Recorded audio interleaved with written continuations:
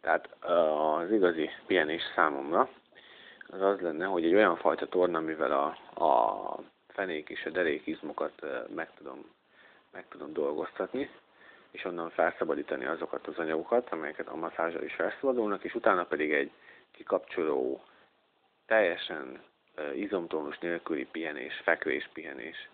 És ez mondjuk egy fél óra, vagy max. egy órán keresztül, de lehet egy fél óra is elég volna, és ez elég ahhoz, hogy újra hidratálódjak és helyrejöjjek teljesen.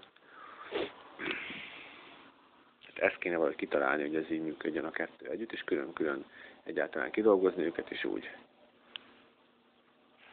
És uh, gondolatilag is kikapcsol, tehát hogy szarok rá az egészre magyarul, olyan fajta pihenés.